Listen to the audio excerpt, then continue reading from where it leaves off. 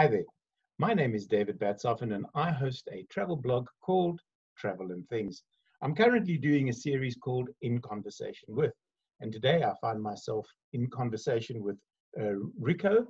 Um, and uh, we're going to be talking cartooning. Rico, how are you doing? I'm doing fine, thank you. Thank you very much. And I, will see your mug with my own customized Scrabble mug. Cheers. Is R only worth one point? Yeah, sadly so. I should have had to change my name to Zico, then it'll be 10 points. Well, there you go. You see, I've got the Z in my surname, so I think Batzofin gives you 26 points or something like that. I don't quite remember. and with a triple score, it's game over. game over. One surname, that's it. Mm. Rico, talk to me. Uh, people know your work from both Madam and Eve um, and currently um, a lot of the political work you're doing on your own. Chat to me about where you find yourself at the moment? Um, well, at the moment, uh, we, I've been doing Madam Eve now for uh, a better part of 28 years. We started in 1992, so it's actually one of a really long-running um, uh, project, basically, and I'm still enjoying it. Still fun. Um, we still have enough material, and then on the uh, and that's what I do with with the writer Stephen Francis, and then um, I basically do my own uh, a wide variety of, freelance work, all kinds from editorial cartooning to educational work, science education, children's illustration. I like to diversify as much as possible, um, you know, just to get off out of that mindset of the political satire, like halfway through the week, just keeps me sane. this crazy country, these crazy days. We, we live in interesting times, specifically when it comes to cartooning, um, because you're virtually spoiled for choice at the moment. Yes and no. Um, we've kind of it's, it's it's a tough time. I mean, with with coronavirus and the lockdowns and and the and the, and the, the world is kind of it, it's kind of odd. I, uh, uh, there's for me, there's kind of a line where the where the world went crazy just after that. I, I attended the book fairs in Stellenbosch, and that was just in the beginning of March, and it was sort of the last normal thing I did in a sense. And then and then the world just went strange. Things just went, you know, it was already the, the start of where you're looking at, you know, am I getting on a crowded plane or not to Cape Town and things like that. And and, and then yeah, and then things just switched around. And for us, um, when, when things just got serious with with the, the lockdown and and you know, as, as you realize the how the pandemic just changes the world. Uh, it, it, gave us a bit of a shift from Adam and Eve, for instance, because um, everything was just so grim and we decided to go light as much as possible. You know, it's the lighter side of how absurd life is at the moment. You know, every now and then you kind of, kind of sort of, you know, draw and come to a halt and realize just how surreal everything is. kind of, and, and what's even strange is, I mean, that's just human nature, is, is how it becomes, you know, that old cliche, the new normal. How so many things are just, this, this, is, this just becomes normal. And, um, and that's, that's kind of an ad- adaptation, but also dangerous in a way know, that we kind of accept things and, and, mm. being, you know, that shouldn't be normal. And I think cartoonists, and, um, I, I think your job as a cartoonist is not job, that sounds wrong, but part of, part of what you do is to make light of or make people just stop and think, you know, is it the new norm? Do we just have to be accepting of type of thing? Yes, it's, it's a balance. It's a striking balance. I mean, we kind of, with, with, the editorial cartoons, obviously, you look at what's what's current and try to make fair comment on the situation. And um, uh, now with with you know the inevitable corruption with all the PPE deals, and we kind of gone back from uh, uh, struggling with the, the, pandemic to you know the, the, the sort of insertion of life, political life as normal in a bizarre way. You know, uh, they're sort of balancing the two. And um, with Madam and Eve being more of a, of a mix, you know, it's social yeah. satire, it's just, just sometimes just the funny stuff and sometimes it's political. So we, so, so it's, it's nice that we give ourselves the leeway that we can just do something really silly about Haidars and then also go into, you know, the corruption cesspit and depress the hell out of ourselves. I just want to know if the current PPE situation is masking the real corruption. Um, no, you didn't see. You didn't see what I did there. Come on, Rico. I did. I did. I did. And and and and and you get you get you get one point for that. Is that all? Yeah. Uh, it's it's actually very funny because we've had we've had people um, you know there's there's a joke I don't know who said that but somebody said once that comedy is a serious business. It is, yeah. And if, and if you and if you see and it's it's kind of a contradiction, but if you see people uh, in a room like brainstorming ideas and things, there's actually uh, even funny ideas, I'd say with comedy and cartoons, and, and often there's very little laughter there's a lot of that sort of hmm, that's funny. it's kind of, kind of like a, a, a, mental game in, in, a, in, a, in a sense. And sometimes you just laugh at your, you chuckle at your own ideas, you know. And of well, course, because it's so subjective, nobody else thinks it's funny. You know, exactly. I mean, you know, you know who my father-in-law is, and I think, I mean, I've been married to his daughter now, or we've been together for 15 years, and I think in those 15 years, he's used two ideas of mine. I thought they were brilliant. He just looked at me. Yeah, I did. yeah, that'll work. That might work. Maybe yes. yes. And I mean, I mean, I get that. What what has changed over the, the decades in a sense? Oh, it makes me feel old saying that. But uh, in, in the old days, when you did cartoons and things, you might get a response. Um, you know, from the, the letters to the editor, you know, like a week later or 10 days later. You know, a very specific crowd that actually wrote a letter to the editor, complaint or otherwise a compliment. And now with social media, it's it's instantaneous roller coaster all the time. You know, you get Actually, feedback. But now, when you, with that being said, when you look at your final cartoon, do you ever think, hmm, somebody on social media is going to be offended by this, but I actually don't give a rat's rear end? I mean, I, I mean, there's two, there's two things, there's two aspects to it. If, if it's something I've missed, you know, uh, in terms of, of, because you're very close to what you're doing. Hmm. And you do tend to work a little bit in isolation. And sometimes because of the pace of things, you just miss something. And then I'll say, okay, fair enough. You know, I mean, that was a mistake or there's an error and stuff. And sometimes, yes, sometimes I don't, I don't, I don't necessarily care. Um, I mean, we've, we've, over the years, I, I know, I, th- I, think we've developed a very fine radar of, of, what works and how to say things or how to express yourself without necessarily, you know, uh, getting that that gut re- uh, that wrong gut reaction that changes the, the tone and, and then some people miss the point. I mean, some people deliberately miss the point and will find offense, and you can't that can't be helped. Take me back to Rico in high school. What was your matric year like? Oh, terrible.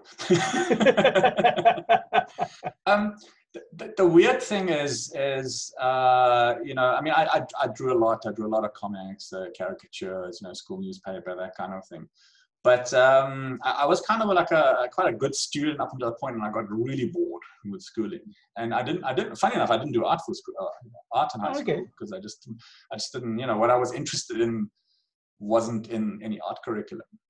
And the same applied when you know you leave school and then you have to go do okay find a real job you know if you still want to do the cartoons and the comics you do graphic design and i was pretty good at everything except graphic design and uh, which didn't help i dabbled in the archi- architecture which is amazing how many cartoonists have studied or tried to study architecture yep and um, and then uh, yeah, then just sort of stumbled my way into into actually uh, you know actually becoming a, a, sort of a professional cartoonist in a sense after that.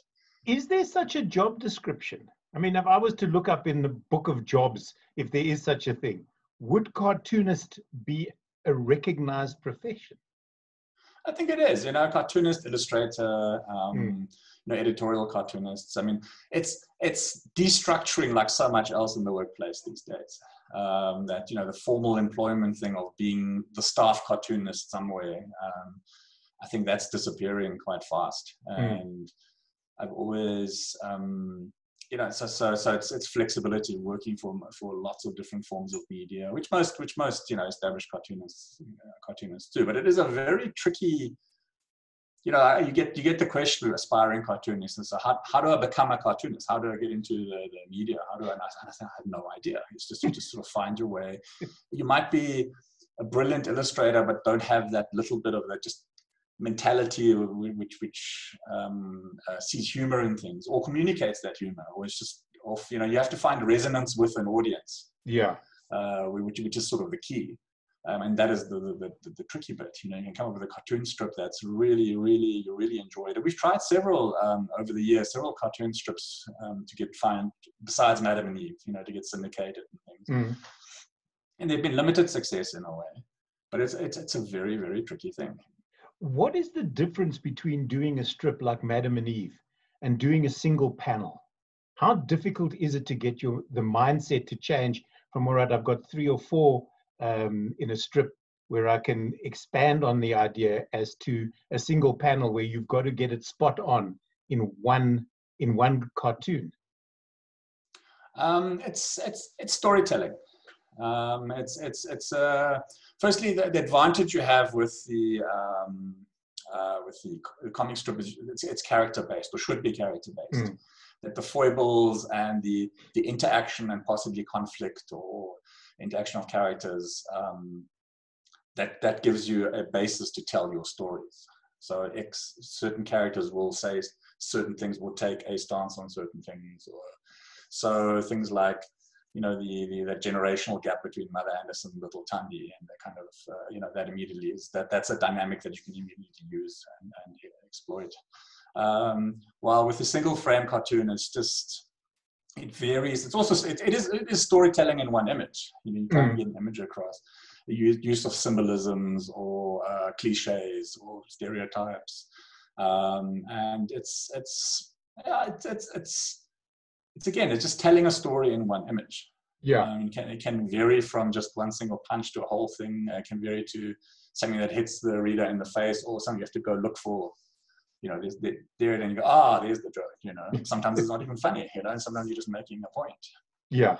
Or playing with uh, established imagery um, and uh, you know just trying making a new spin on some established image that people are familiar with do you find that your madam and eve readers are so invested in that particular cartoon that if you leave a character out for some reason in maybe two or three consecutive um, strips you're going to start getting emails or social media going, what's happened to?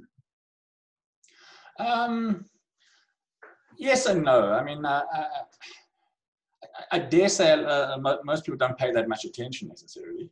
you know, it's, just, it's a kind of like a, you know, I mean, it's not a, an in-depth um, you know, engagement. Yeah, some people do. We have some very dedicated fans, and and sometimes some characters just just, just disappear, or we just don't find use for them anymore. Mm. And um, the dynamics also changed in the well, the dynamics changed in, in in in South African humor in general, in the sense that we've become so politicized.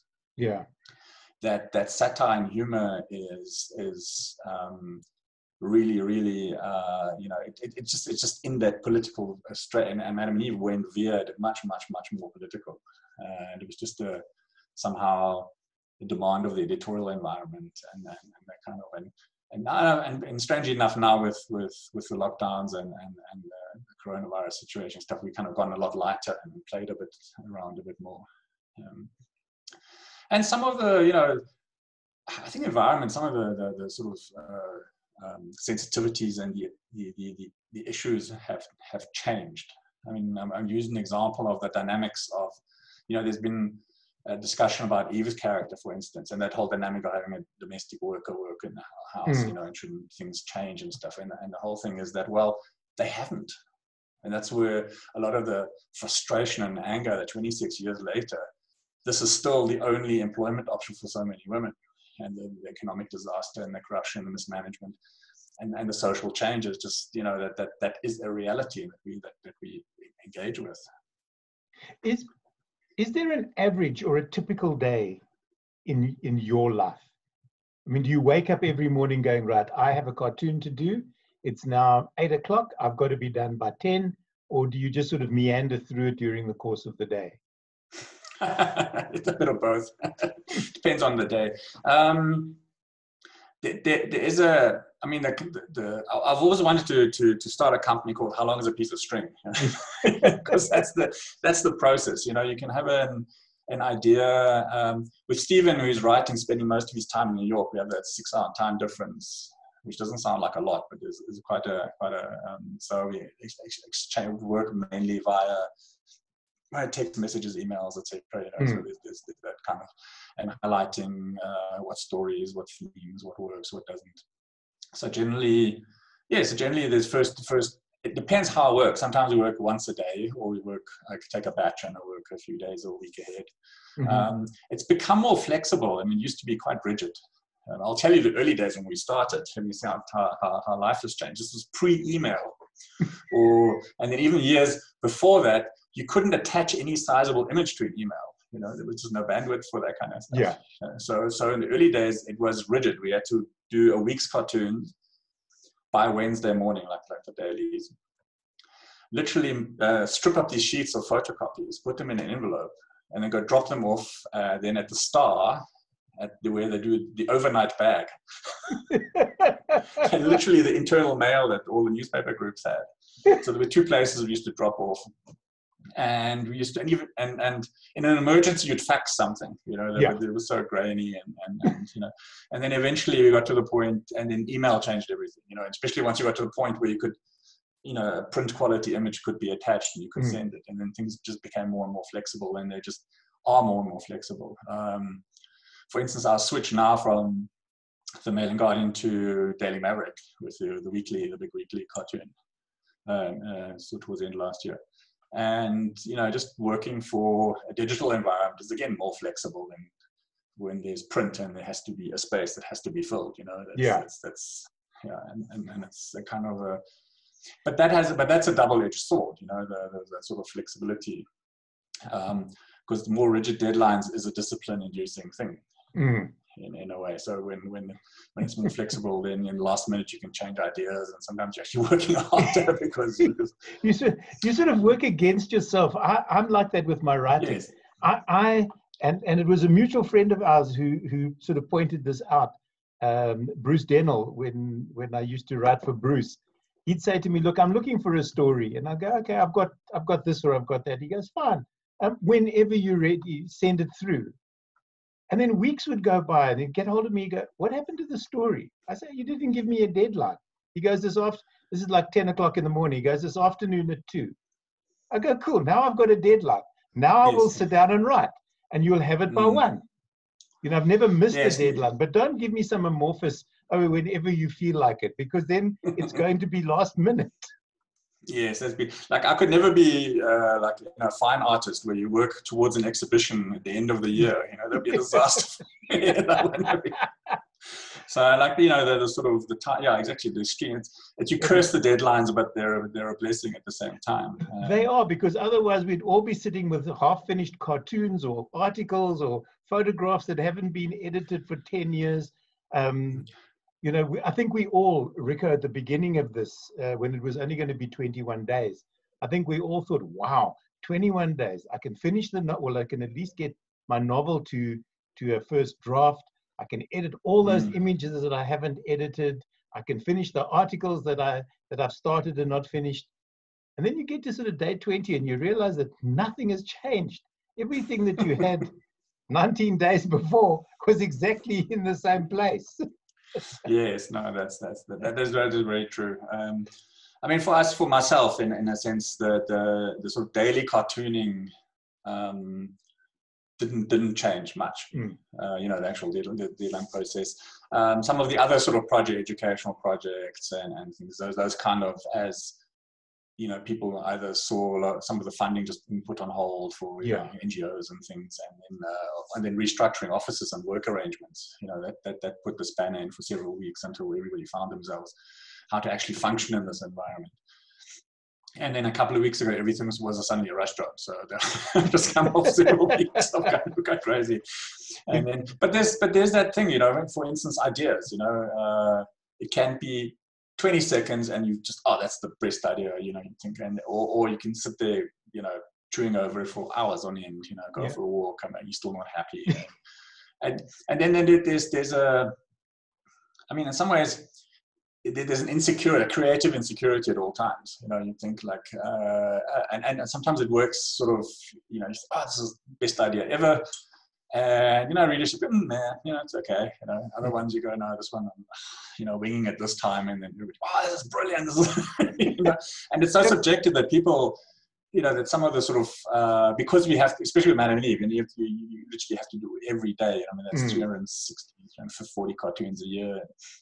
And some of them are just, you know, sort of run of the mill pattern kind of jokes, and people, that's my favorite cartoon ever. And I'm going, yeah, that's great. I, don't, I, don't, even remember it, you know. But I think every every cartoonist or every person that follows a cartoonist, and uh, for me, aside from yourselves, um, with a strip and Dov Fedler with the single panels, uh, one of my favorites is Gary Larson. And yes. everybody, with almost without exception, has a favorite Gary Larson cartoon. I have part of, a, of one of his cartoons tattooed on my shoulder. It was my very first tattoo. Um, it was too small and it's just become a blob. In fact, it doesn't rate as a tattoo any longer and it will eventually get covered over. But um, I'm glad to see that he, for instance, has decided to come back into the digital space, though. Mm. Um, not not in print at all, but but on a digital digital platform. Yeah, that'd be that'd be quite quite interesting to see what what I mean. He's done a few, so I don't know I don't know what what what's going to happen in, in mm. going forward and stuff. Um, um, his his style. I mean, I, I loved his cartoons. I mean, there was sort of one of the formative ones when we started out. I mean, there was a few that we really really liked. I mean, it was Gary Larson, um, Calvin Hobbes, which is still I think the greatest cartoon strip ever. and uh, it took me a while to get into Calvin and Hobbes, but now that I am, I read and reread those on an almost weekly basis.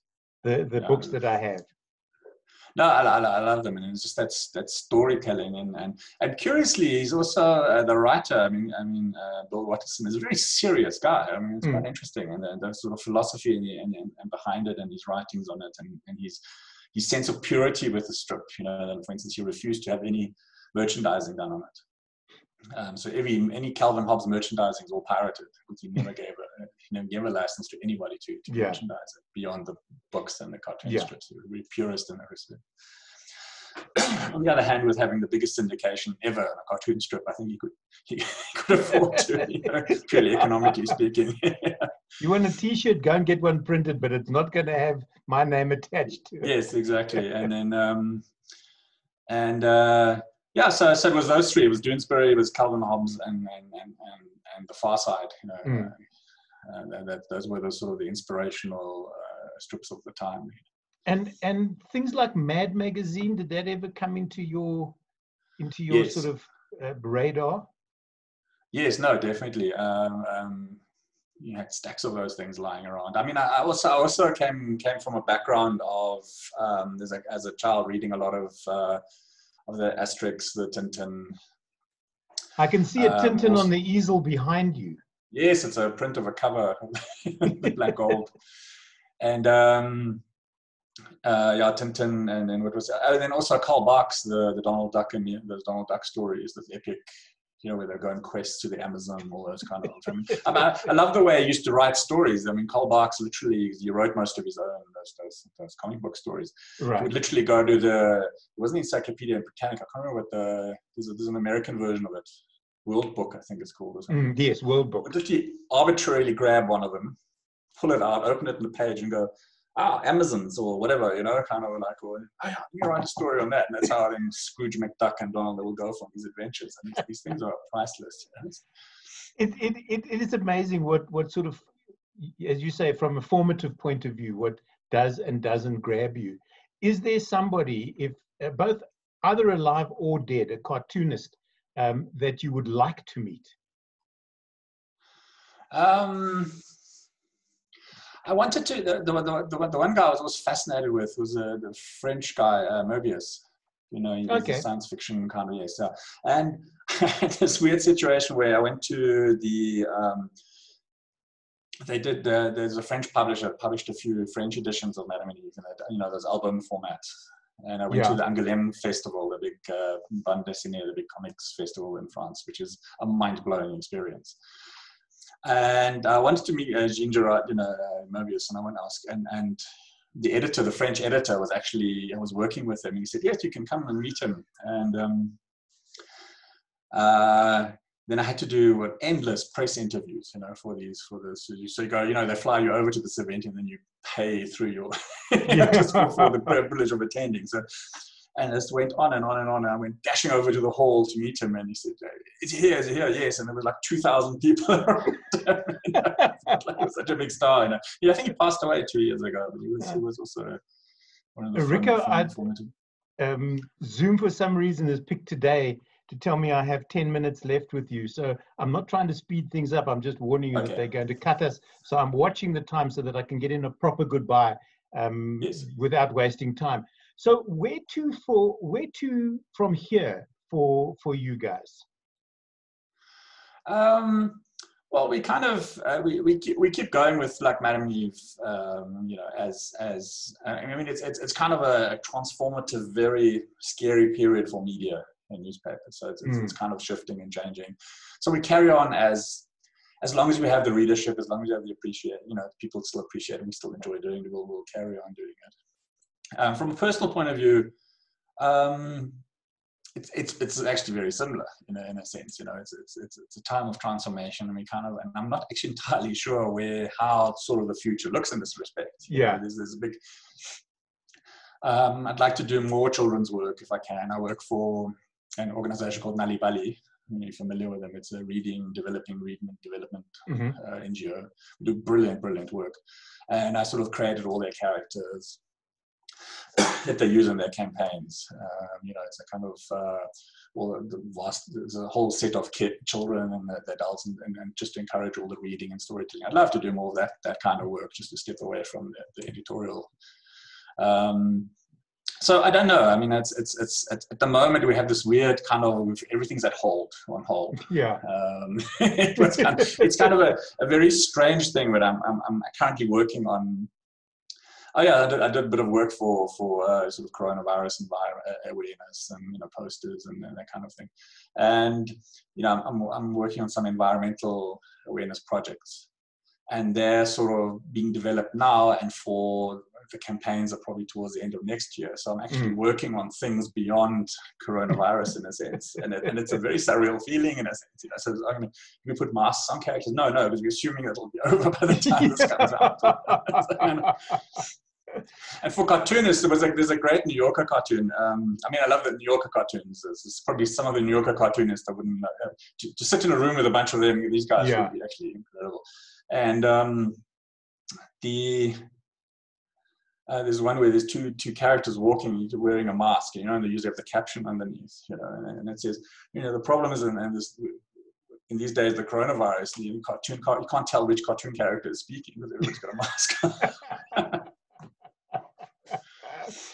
Is there somewhere that people can go? Firstly, can people buy your work, the originals? um, they can contact me. I mean, the, the problem these days, uh, a lot of it is digital. Digital. So it's, it's a combination. I still draw pen and ink most of the time, but then it gets finished off digitally. yeah. So it's it's just for the for the for things to be editable and, and for the speed of process, you know. So it's Mm. half half pen and ink, but it's never complete, you know. So it's Yeah. a bit of a some of the Madam Eves are complete, um, just black and white, line work. The days of an actual one with, you know, when we used to have it scanned and it was colored in colored inks, you know. No, that's- that's- long that's gone. gone. Long gone. long gone. So, so But But you have a Facebook page. You have an online. I have a presence. Facebook page, yes. Yeah. So I have Facebook is Madam Neve myself, just Rico, Rico Schacherl. Then you just um, you can find that. Um, you just contact me, and if if it's something you like, you can ask me, and I can I can say, okay, yes, there's actual uh, a sellable, presentable drawing, or, or Yeah. sometimes I sell prints. You know, just the digital file that you can print out, and you can print Yeah, out. yeah, yeah. Or, you know, so, so so Fair enough. and every now and then I actually get to the to where there's a commission where somebody would like an actual original done in pen and Yeah. pen and ink and watercolors and that. And I really it's scary as anything because there's no there's no control alt delete, you know, or whatever. control Z undo.